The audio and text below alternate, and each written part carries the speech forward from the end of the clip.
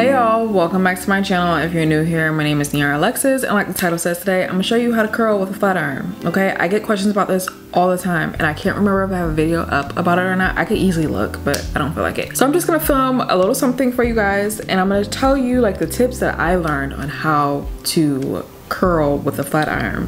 First and foremost, I will say, if you are like brand brand stinking new to doing your hair like you've never picked up a hot tool ever you've always been a salon girly my number one tip is get a curling iron okay? I know you're like girl that defeats the purpose of this whole video. It will show you like the physics of what you're trying to replicate with the flat iron. Maybe you don't need to you don't want to go get a curling iron. Okay whatever i hear you. Number one you're gonna straighten your hair first and then you're gonna curl. You can't straighten and curl at the same time. I don't care what anybody says or they try to tell you, oh, that's too much heat. Do you say that when you go to the beautician and you go and let her do your hair? No, you don't. You shut up and you let her do your hair. Okay, just saying. I'm gonna take this section down here because I'm, I think I'm gonna do like, um, like my big loose kind of like blowout type of look today. It's basically all that look is, is like you're curling your hair and then you comb it out. This is the Croc Masters Collection Infrared one inch flat iron. Um, I like this flat iron. Another flat iron that I really like is the GHD Platinum Plus flat iron, but I know these two are kind of pricey. So if you're just not willing to commit or like invest that much in a flat iron just yet. Heritage by Mindy has some really nice flat irons too that are available at Walmart and I think they're like $30, $40. I'll link them down below, okay? The first tip I'm gonna give you is to hold your flat iron vertically, okay? Stop doing all this, stop doing all that. Don't be doing this, don't be doing that vertically, okay? You're gonna take your hair, hold it in the flat iron, turn it. So you see, oh, I just burned my finger. I put it in flat, right? Turn it to the side and you're just gonna pull the hair through.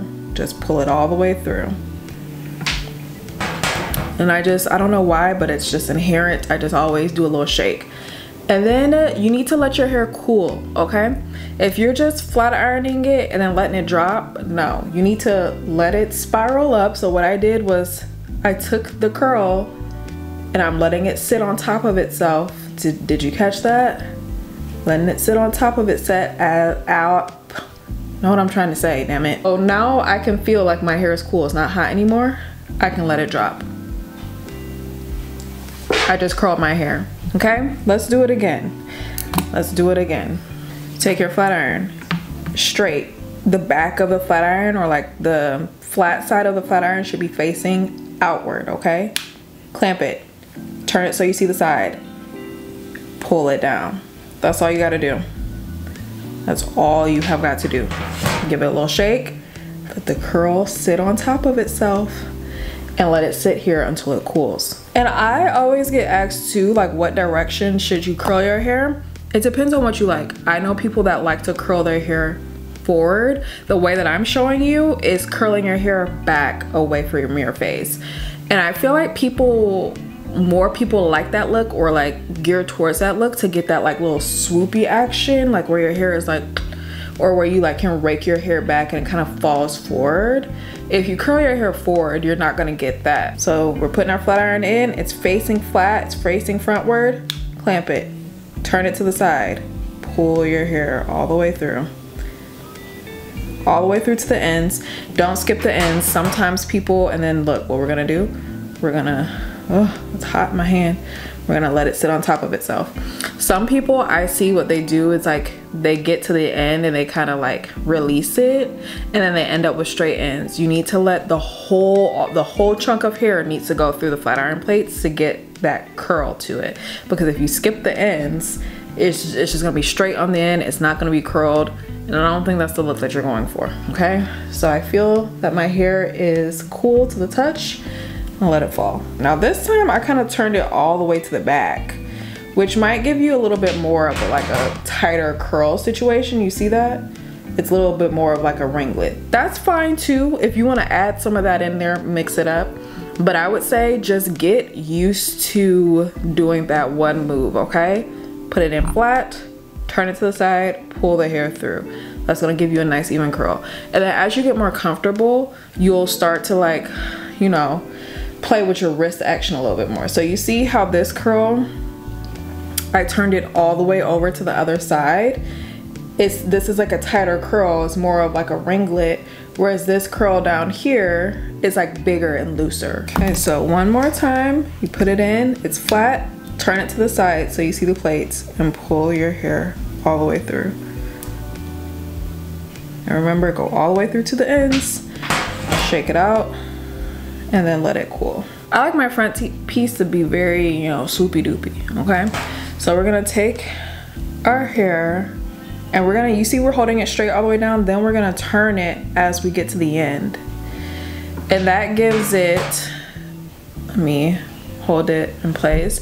That gives it a little bit more of like that straight and then it curls back versus having it being a curl all the way at the front, if that makes any sense. So you see that? How it's like, it's straight and then it curls back. Instead of coming in and immediately turning, I'm coming in, I'm pulling the flat iron straight down, then I'm gonna turn it to the side to see the plates once I'm like three fourths of the way down. Shake it again. And so this front piece right here is pretty straight. It's not much of a curl to it. The curl is really only added at the end. And then that's how you get that little like, you know, that little that little action. Then what we're gonna do is we're gonna start pinning our hair back. Pinning it is just gonna add some extra like staying power. Don't worry about like this part, that that's not gonna affect your curl whatsoever. It's not gonna bother it. Unless your hair was still hot, which it should be because you cooled it, right? And all I'm doing is wrapping it around my finger and I'm gonna pin it down to my head using one of these little silver pins. Also, I will say too, like when you're curling your hair, unless you're just doing like a total hack job, it's really hard to like mess it up. I can understand it being frustrating if you just like, it's just not turning out exactly how you want it. I get that. But you also have to understand you're never gonna really learn how to do it until you keep doing it. But that one time that you get it to be how you like, remember what it is that you were doing. Otherwise, if you just like have no recollection of that, you're not gonna know how to recreate that look. But yeah, that's how I curl my hair. I'll come back and show you what it looks like at the end, okay?